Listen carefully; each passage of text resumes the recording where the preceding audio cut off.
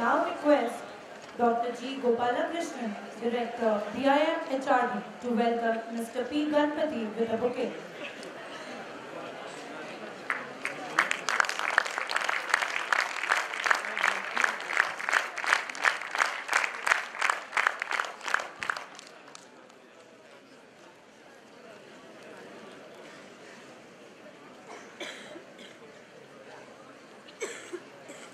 Thank you, sir.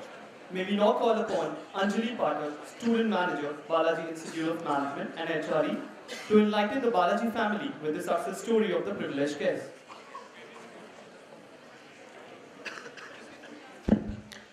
Good evening to the respected dignitaries and my dear student managers.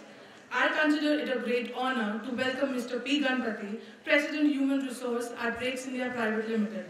Brakes India Private Limited is a part of $6 billion TVS Group, established in 1962 as a joint venture between the TVS Group and Lucas Limited, UK. Mr. P. Ganapathy holds a degree in BSc, BL and PGDPM. He has also pursued his career in the area of personal administration. Sir has also served as a management trainee for three years at Coromandel Fertilizers. Sir has also served EID Parry India and Parry's Confectionery Limited as a part of Murugappa Group for more than 10 years.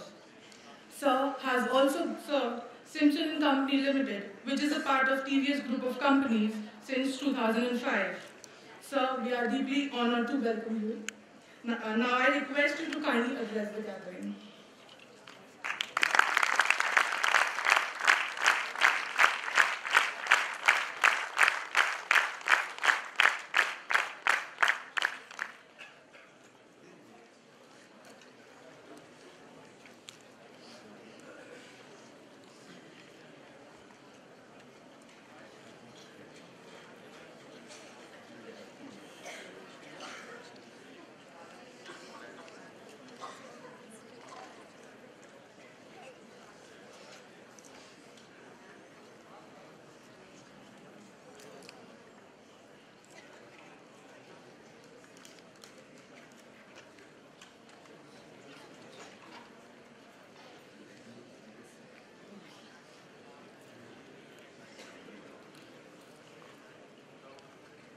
Afternoon. I know this is the last session, so you must be waiting to keep out. I've been through this. I've been through this, so no hassles. I know. I'll try to brief, be as brief as possible. The introduction given was, I think, was, uh, quite okay. Though some of my colleagues always feel that uh, it should be more elaborate. I like to just take a cue from uh, Mr. Shiv Khera's book saying, I'm an ordinary fellow who has done and will do only ordinary things. And maybe if it's something any extraordinary, it is that I'm addressing such a gathering like you. Uh, It's a great honor for me. Thank you so much for this.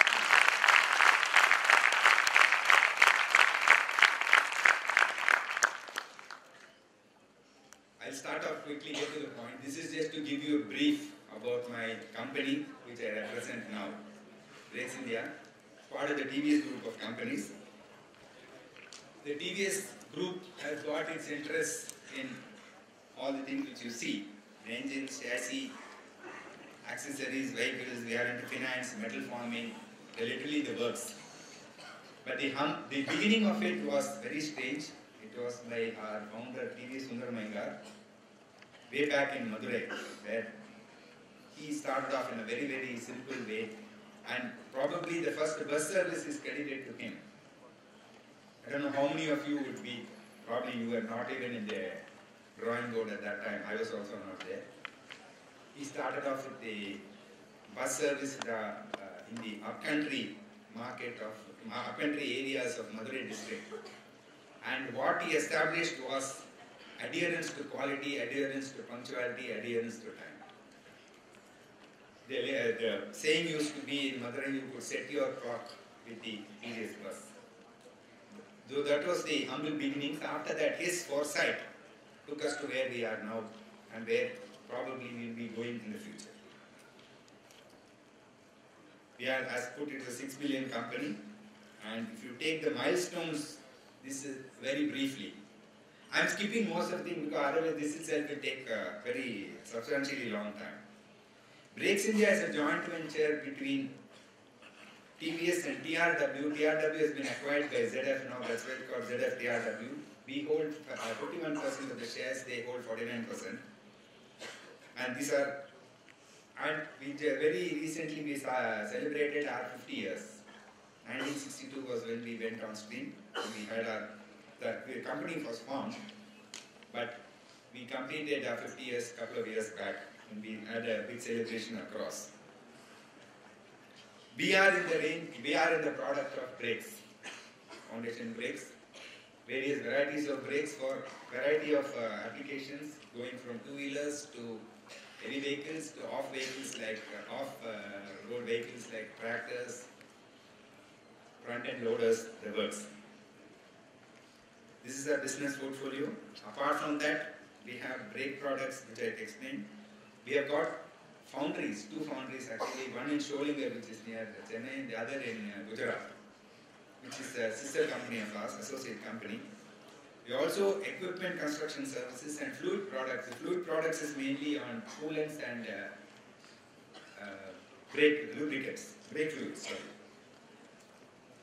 Manufacturing locations, we started off in a very simple way in, in and around Chennai, but now we have diversified, we are right across all the places. In north, we have we have a plant in Baki, which is in the outskirts of uh, Chakan, just beyond Chakan in Pune. And in uh, Gujarat, we have got to one in Sanand and then one in uh, Jagadia. Is another one in Uttarakhand. Delhi, we, have, we had one in Gurgaon, but we have recently, just about a couple of months back, shifted it to Bawal, again in Haryana. Jamshedpur we have, apart from the south-based companies where we have in Sholingar, we have it in uh, factories in Sholingar, one in Polambakkam, all the vicinity in and around Chennai, about uh, 100, 120 kilometers radius from Chennai. Our commitment to green is something which is very dear to our uh, chairman, current chairman, and also the entire family members. And actually, in every plant, we have got an artificial lake built, which is rain-fed.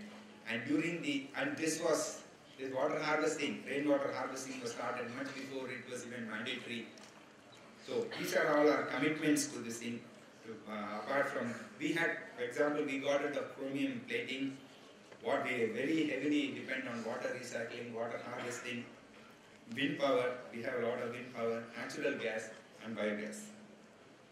So this takes care of the uh, one part of it.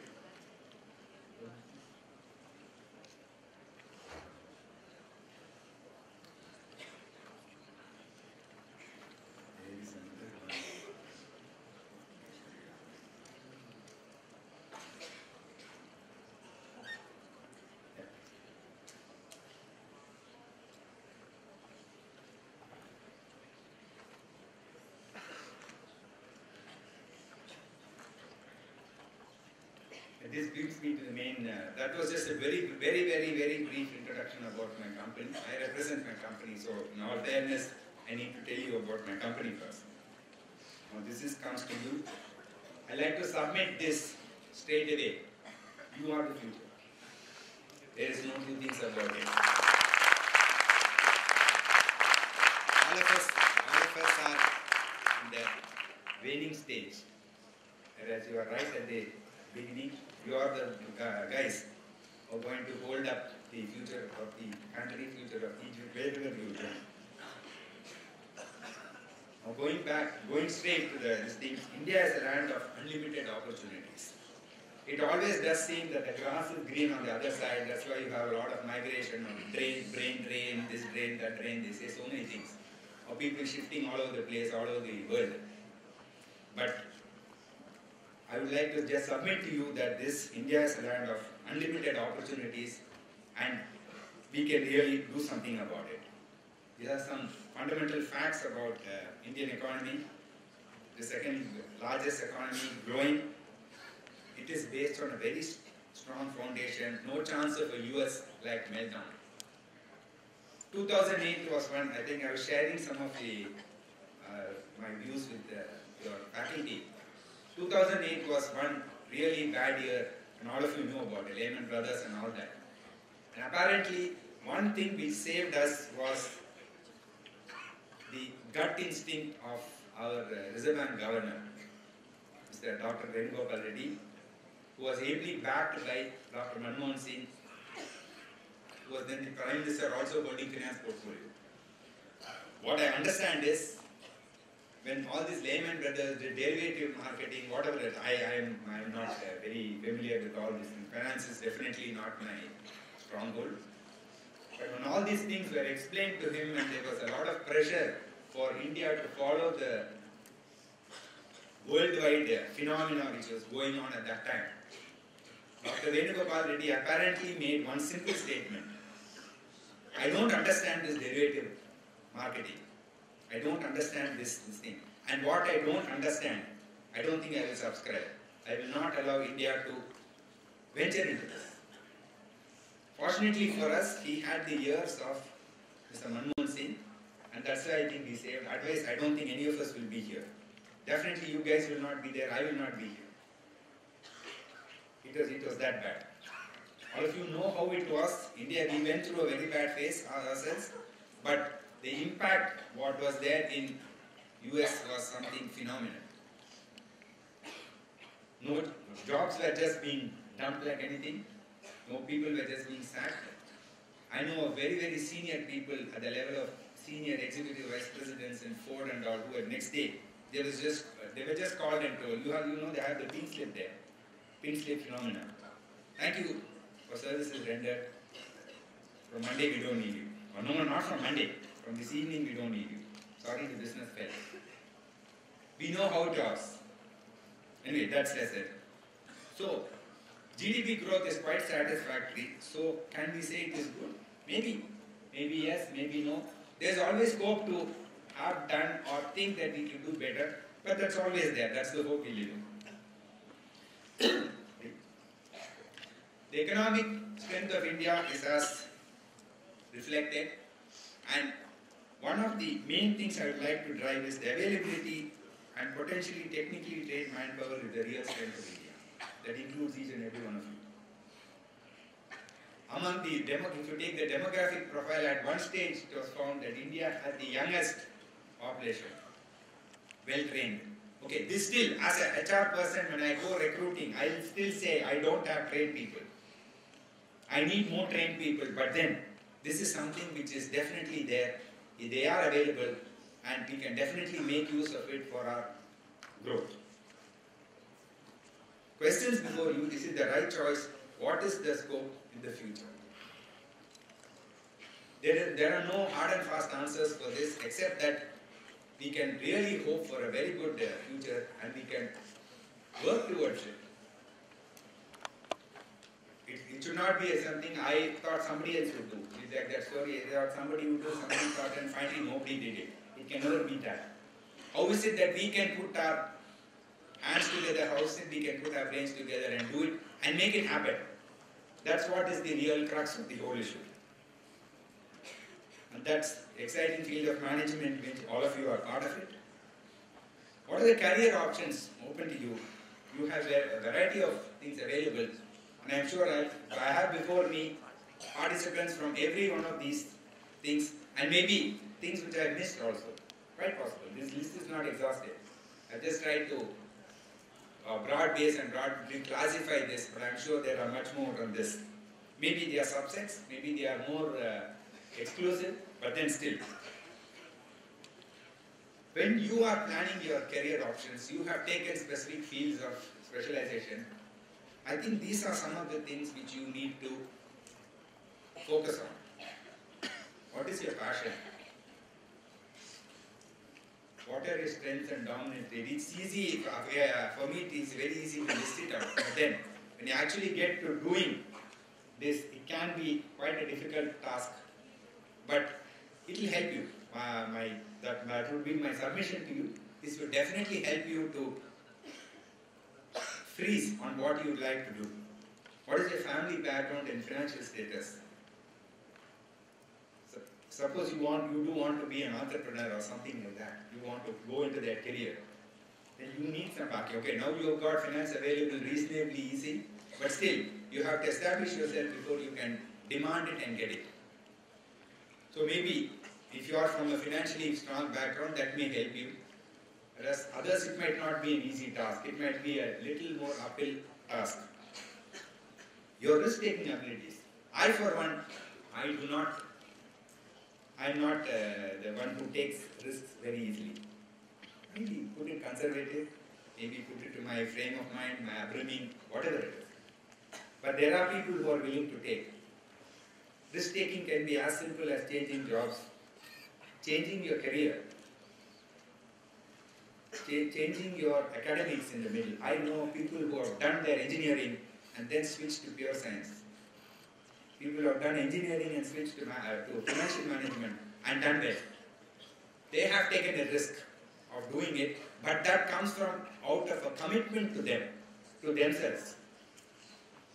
You don't, if you take earlier on, maybe your father or your grandfather's time or something like that, what they said, you join a company and retire from that. that uh, the callers up used to be, I served in the company for 30 years. I retired after 35 years. Retirement age was still uh, 58 at that time, 55, 58, whatever it is. But that was one of the strong points people used to measure you in terms of how long you served a company. But no longer, that's no longer holds. And in fact, when I was uh, at the uh, brink of taking, joining up a corporate this thing, my father's managing director, I met him, he told me, young man, by the time you're 35, you should be in your third job.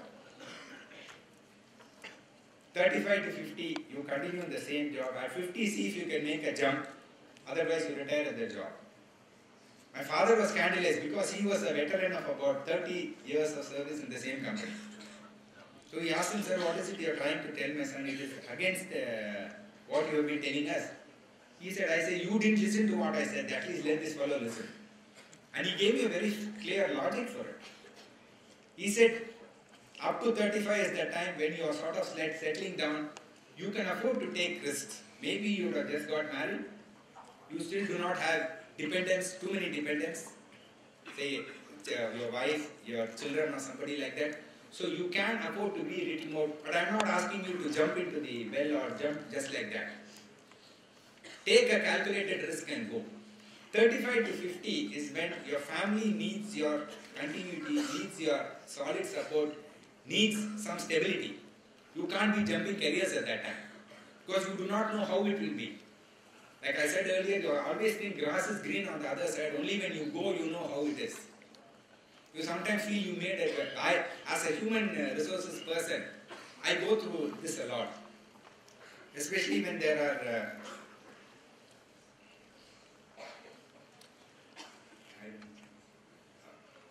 I, you go through this a lot. When people resign their jobs, and when they exit interviews or when the paper comes to me, I, I even now I follow it without fail. I call them.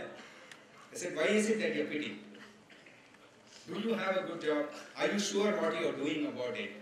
Many of them, I, because personally I feel many, many times it's an emotional decision. They just take it. My boss said something to me, so I uh, take my, they have transferred me, or they have not given me a promotion based on my uh, appraisal. These emotional decisions, always the person regrets. By that time it is too late. He has already burnt the boats behind him, he cannot come back.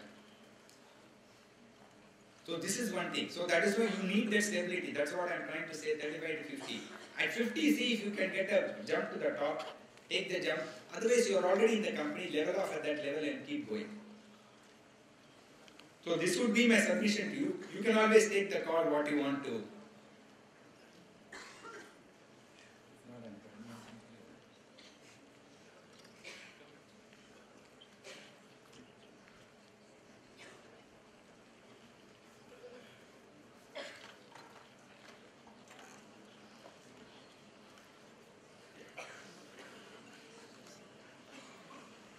Some tips, again, so this is all heavy bhashan I'm giving you, but still, you, you guys made a trouble calling me here.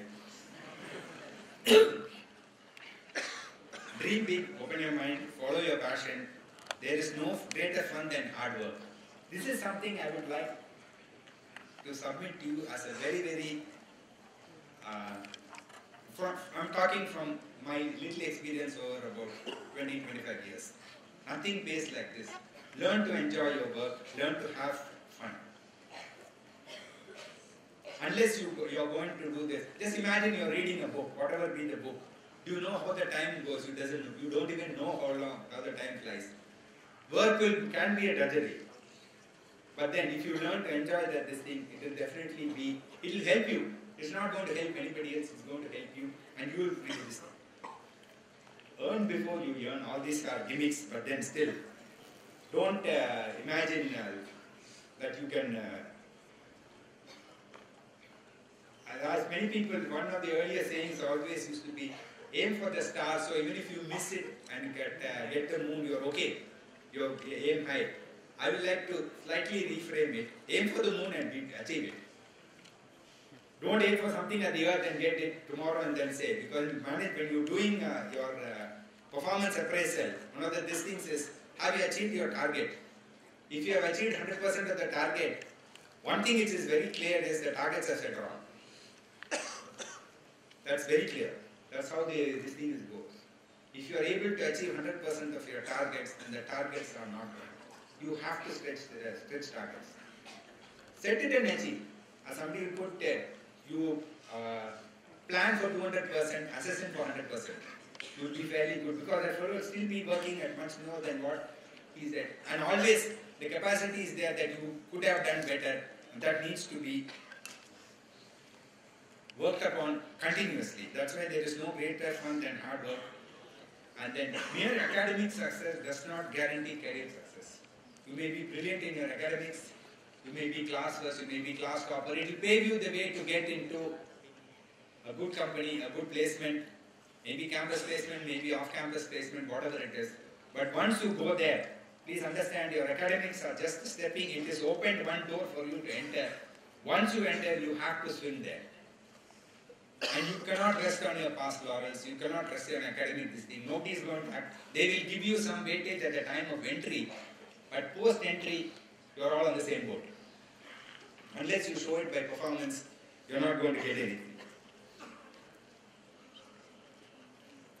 Just imagine, uh, this probably goes some time, some time back when Ratan Tata made the uh, commitment that he will produce a less than one, uh, one lakh car. This was done way back in Maruti. And they said less than this, and they did bring out the first car at 52,000. How many of you know about it? The first Maruti models were sold at 52,000 rupees. 10,000 rupees was the booking, 42,000 rupees was the cost you paid at the time of buying. This is way back. But now the prices have gone. Okay, Tat, Nano has also gone over the board, but when did Nano come? But the dream was there, and to a very large extent, he did see the dream come through. So you have to dream big and live up to your dreams. Just because your dream is not going to happen, you have to make it happen, you have to take steps towards that. This is a more our own uh, lifestyle of, you know whom I'm referring to. He had a very, very humble beginning. How many, how many of you know about it? A very humble beginning, but he has struggled and now he's a big name. How was that?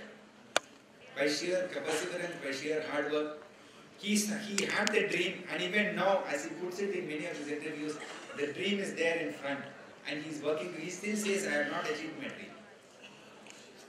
That's his personal commitment. Open your mind. That's when you start seeing.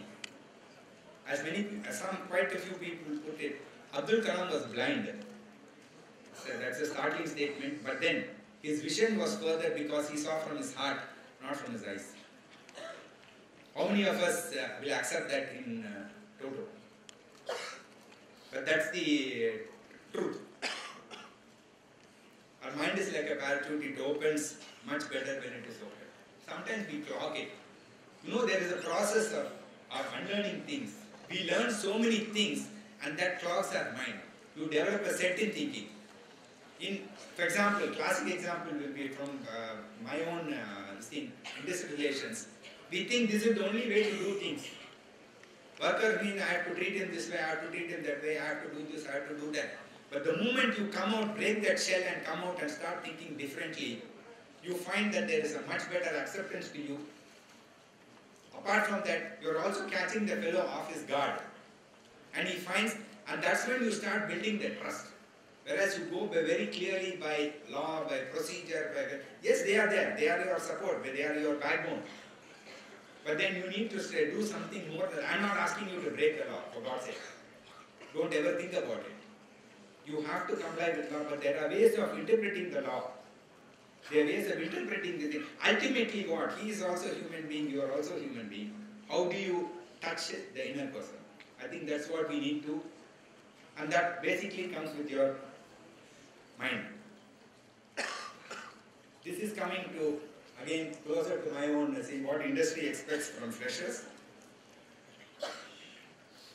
I would put just the seven points. Seven point is thing. You may add, you may subtract, you may reject something out, whatever it is. But in my view, this would be some things which, and the base for that is positivity. The choice is yours. With a bad, attitude, you can never have a, positive day. With a positive attitude, you can never have a bad day. You please trace back to most of the events, day-to-day events which are facing you even right now, right today, right in your career, your school career, your college career. On some days, the day has never been good for you, but on some days it has been beautiful. Like some days at the end of the day when I go home, I am so exhausted. I just don't feel like doing anything. But for a moment, if I sit back and try to analyze what I have done, what I have achieved for the day, it will be one big zoop. Nothing. I would have just fretted, fumed, I would have uh, got hassled, I would have uh, screamed at my colleagues, I would have screamed at this and but nothing. Nothing would have. Whereas on days when you go home feeling energetic, and you feel you like to do something, on that day you sit back and see, you find that you have achieved much more than what you have not done on the other days. That's your basically, you have this carrot, egg and coffee bean. The story behind this, you put all of them in hot water. What happens? The carrot becomes clammy, egg hard cooked, and whereas the coffee bean, you get coffee. Don't tell me I'm a tea drinker, so I don't like coffee. That's, that's not on. But then, I can't. I can, you can change it. So attitude, I think, would be primary priority when we are. See, when you are going for interviews, you are going for the, this thing. What is it I can check? I can check your family background that's available with me in my CV, in your CV. But when I'm questioning you, I, the, the person interviewer, please understand, most of them are trying to check your attitude. I still remember one of the one of the catch questions used to be when you are a fresh managing graduate, you go to this thing, the chair, or managing director or the person, director personnel will be there. One of the questions would be, okay, young man, or young lady, what would you like to be in five years? I'd like to be a manager, I'd like to be this, I'd like to be that. There are some who go to the extent, I'd like to sit in your chair. Is that practically possible? But we think that that is the Somehow we have the impression that's the right answer and we fall a prey to that. Well, uh, uh, an uncle of mine did that when he went, way back when he went for the interview for the ICS, Indian Civil Service. Uh, I don't know what went wrong with that, uh, him or with the interviewer. They asked him, how many steps did you come up for the, for the interview? His reply was, as many steps as I will go down. there are people who give such uh, such answers. At times, yes, it is accepted. You are putting the person, but then you cannot challenge, you cannot challenge the interviewer and sort of make him feel small. So then don't ask me the question, what do I, what is the answer I give, what would you like to be in five years from now? Whereas my my personal this would be, in the five years I'd like to establish myself, I'd like to establish my basement, like to establish my very clear foundation. After that, I'll grow. I'll prove that I am, you are, I'm worth this recruitment. Because once you get your foundation right, you can build, you can build anything on top. You take a multi-story building, which come, assume that the top two floors crash. You can still build it. But the building still survive. Okay, you may do away with the top two floors. Five floors, you are still surviving with it. But if your foundation is weak, you don't get anything, you don't even get one story. So your right attitude is the right, I would put it as the right, this is sometimes tested very clear. You forget all the psychological tests. Psychological tests are only additional info, information to the recruiting panel, but it is what when you communicate, how you communicate your answers is what. Be a true leader, lead from the front. Don't be at the back and uh, in all aspects. Leadership is not about position, it is about influence. How are you able to influence or guide the people along with that? So unless you are committed to a course of action, you will never be able to do. it, Come what may. Enjoy whatever you do is something which I already told you some time back. Keep connected with the real world. All of you are tech savvy, you got all these things. Uh, honestly, I am not. I've got uh, horror for all these except for, uh, because I end up invariably doing the wrong thing, fine, that's beside the point. But my kids, they are fairly up to date and for me, my consultant, free consultant for all this is my son. Though he's in US, we catch hold, I catch hold of him over the Facebook or uh, something and get him to teach me what to do. Fine, that's okay. But at least you are. Keep in touch with the real world, not through just basically this, but know what is happening in and around you. I'd like you to be aware of that.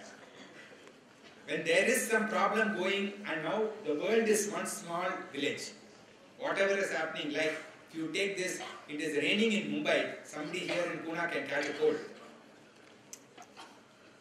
It, it is as thing as that. When you have some Lehman Brothers uh, fallout you had in US, what was the, why was there an impact in, in India, which is 50 percent, uh, so many thousand miles away, other side of the globe? That is how it is. India is, the world is one huge village now with connectivity literally across the thing, at the touch of a button or touch of a, or a swipe or something. I think you need to be very, very uh, connected with the real world. Don't go into the virtual world, please. Virtual world, virtual games can all be a guidance to you, but don't let it become an obsession, and Lord, don't, for God's sake, don't let it misguide you. That is my only submission. And finally, from what Swami Vivekananda said, you are the creator of your own destiny. It is very easy to say, that guy above wrote something on my head, that's what is happening, I resign myself to fate. No. I very firmly believe you write your He has given the pen in your hand for you to write. You chose not to write anything. He fill in that, he takes it as a blank thing.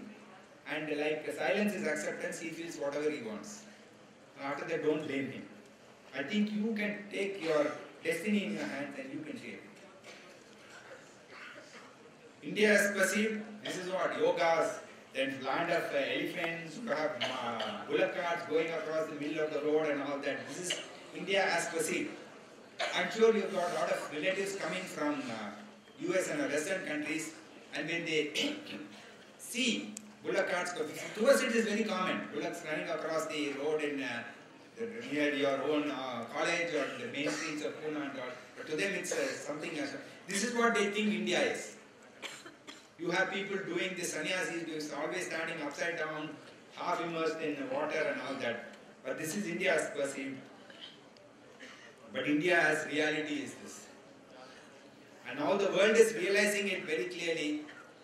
And if at all US or Western this thing or Japanese are afraid, it, they are afraid of all of you guys. The average Indian is far superior to any other race. But the, uh, the what's the, the flip side about it, two Indians joined together, the thing drops. Why is that? I think that's an answer which each one of us has to answer ourselves. Finally, an appeal to you, be true to your motherland. Best wishes. Sir, sir, straight sir. Right hand side, yeah. Good. So you were talking about virtual reality and you know, telling us to be safeguarded.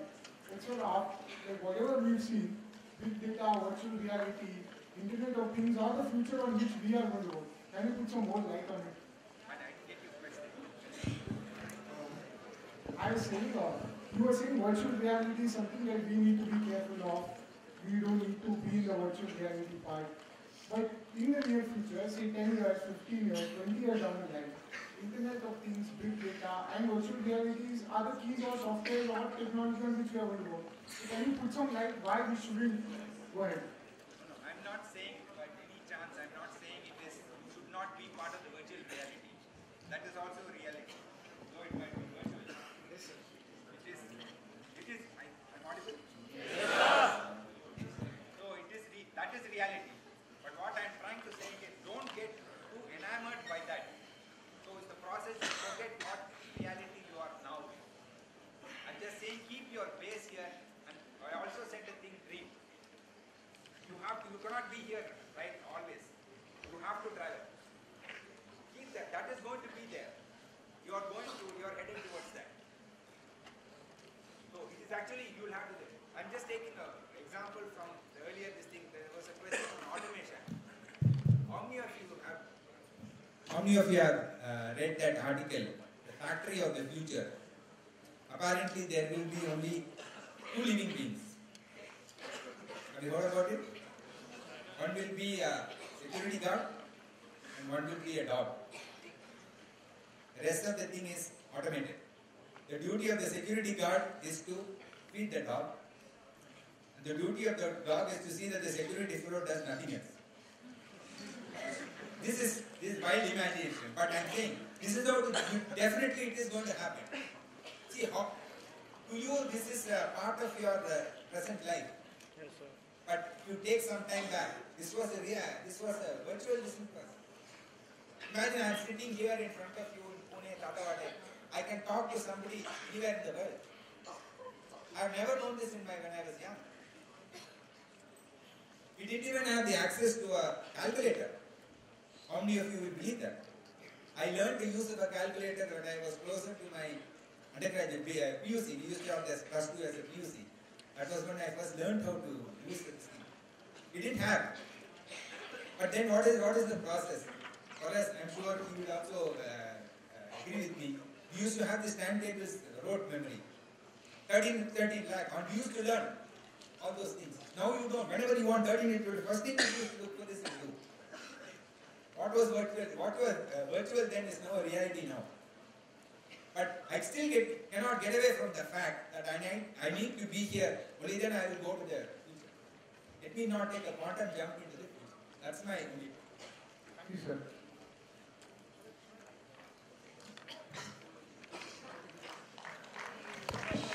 Hello.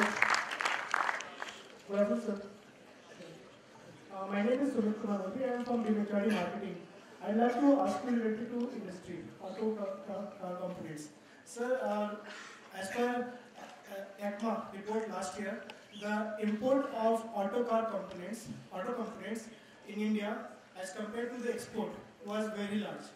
And the market for auto components in India for the next four years is going to increase considerably for 4%. And one of the, what I, I was seeing that the, one of the largest importer, exporter, in terms of what coming from the other countries. China is one of the largest exporter to India.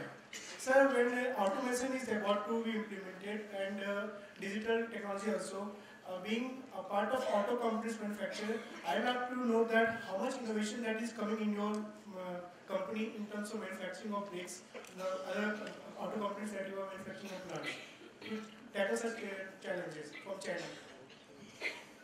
See, the auto component industry, the auto industry and along with the auto component industry is going through a major upheaval. Earlier, in my own company, if you take way back, it was a sort of a uh, commodity. It was being rationed. Okay, I'll give so much to Ashok Leyland, I'll give 500 cents to Ashok I'll give this to so and so. Now it is not like that. They, they tell me how much they, how much I need, how much they want. So I have to I have to very well give it along on those lines, or I don't get the business. This is only as far as the manufacturing is concerned. But when you take one step, you take quality. Unless you have got very clear quality parameters established, they don't even consider you for. They don't even you are not even considered for that. That's why you have got so many certifications. ISO, ISO, QS, QMS, QHSE, so much, blah blah blah blah. This thing. These are all prerequisites for you to even be in the business to be considered for the, uh, for uh, or considered for supplies. The uh, guiding factor is your cost. You are talking about China, imports from China. I was just recently talking to somebody else on the, this issue. We are importing uh, material from China, finished products, and despite the levy of so many duties, assume that the cost of the final material which is sold to the OEs is 100 rupees. As far as Indian companies are concerned, the cost of the material itself comes to about 98 rupees. Where is your profit? So you have to add cost of material. So when you add your conversion cost, when you add, it comes to about 100 and 120 rupees. So where are you competing with China on 100 is the landed price of the entire material, final assembly or whatever is straight for use. Whereas your cost is going to be 120. And finally it comes to that. Price is a very big, uh, for each component, if this is the, I'm just giving you an illustration, the price is like this. And now if you see the global sourcing, I was telling you India, the world is a village.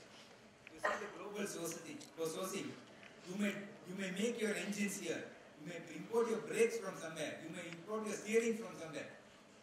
You can bring it from somewhere and finally have the assembly here and sell it. You still make, be making a pretty good profit. And the pricing system earlier, your cost of manufacturing was 100 rupees. You could always load about 15%, 10%. I, my expected profit is 10%. So 110. So I will sell it for 110 rupees. Now the rules are reversed. The price which the OE buys is fixed as 90. So where is your profit? 90 minus your cost. The 90 is your selling price, it is fixed. 90 minus your cost of manufacturing is your profit. So you have to make uh, this, you have to make uh, efforts to do it. How do you do it? it? Is something you have to see. And certain things you cannot cut. Like our components, for example, is a really safety uh, component. Forget the brakes in a, uh, in a big vehicle or. Take the brakes in a simple bicycle. What if it fails? I'm sure most of you don't through the very, very uncomfortable situation of the brakes failing. You go slam into somebody or something. It's a simple thing. You might you translate it into a, a car or something where you have it's a high performance car, you're traveling at breakneck speed. You don't understand this, this thing fails. So can I compromise on safety on those? Give you an example in US, Bridgestone company, I, I think the tire company went through a major thing where they faced suits for several million dollars because at high speed their speed can go up to 120, 150 kilometers miles per hour. One of the tires ripped off, and the uh, passenger, the car exploded, went into flames. They had to withdraw so many millions of tires because they were. And last, the last one year, you must have read how many car companies have been withdrawing their products. The airbag is not coming out. The last two weeks is your cell phone, your Samsung. Uh, uh, battery is exploding while charging. What I'm trying to say is, when you are having, this is the sort of breakneck competition you are having. It is not survival. It is finally it is translating to survival of the fittest. And there you cannot compromise something. You, you are in this. You are making a uh, brake. You are making something for profit. You are not going to sell it up. You are not going to sell it at a loss. And finally you end up uh, having to close on your company. So these are something which you will face. And this again translates to answer your earlier question on reality. This is reality. Sir, uh, second question is uh, GST. And does the, the first thing is GST going to make this price factor? For example, people say the product of Chinese, uh, whatever is imported from China people are not in India. Will, GST help in bringing the price difference? Possibly it should, how, how it is going to be rolled out is going to be a, as it, as it is, it's taken such a long time to get the assent. President has given the assent only yesterday. When you are rolling it out, you will find that there are a lot of implementation. They would have, obvious, they would have given, have, they will issue, they would have approved most of the things, if not everything. But still, the unexpected can be there. And sir, sec- second thing, sir, branding of uh, B2B manu- product. For example, companies like Brakes, you are the supplier to the company, if I am not wrong. if I'm not mistaken. Thus, the branding of this uh, uh, product will help in for tackling the challenges that these Chinese products give to the Indian manufacturing industry. I don't know. Honestly, I don't know because it doesn't seem to. So they also, please understand, I'm not degrading Chinese product, they are also very good. And when finally there is a choice the company, uh, OE has to make between a branded product which is selling at 100 rupees, whereas maybe not so well branded a product at 20 rupees. You decide who will, uh, what will the choice be. There, there will be no compromise on safety, let me tell you. There cannot be a compromise on safety because implications are very severe. But then, price does play, play a very big uh, role. As it goes on, you will have to see how it Honestly, on GST, you may not be able to answer anything very clearly now. Thanks.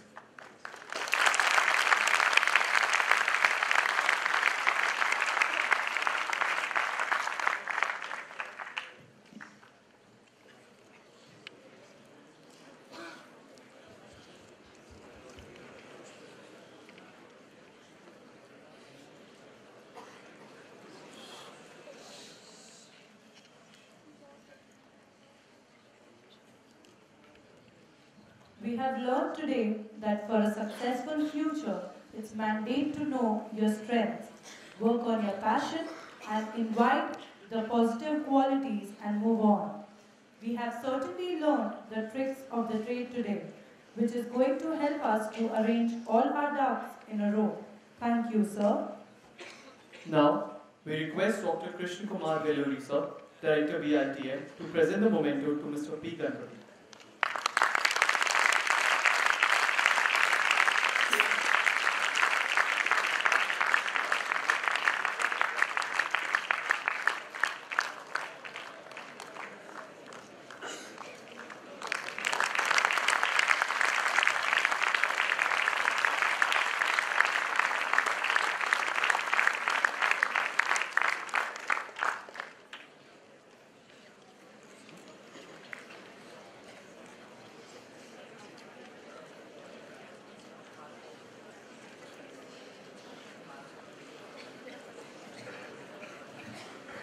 Just a small snipe at the end. Thank you for letting me off with just a couple of questions.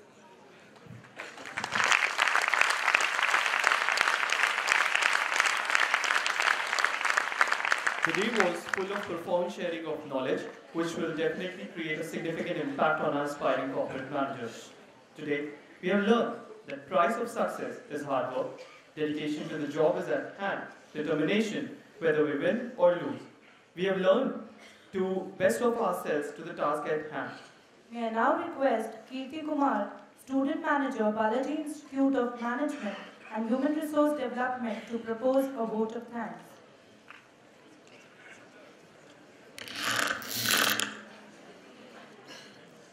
A very good evening to all our chief guests, dignitaries on and off the dais, and my fellow student managers.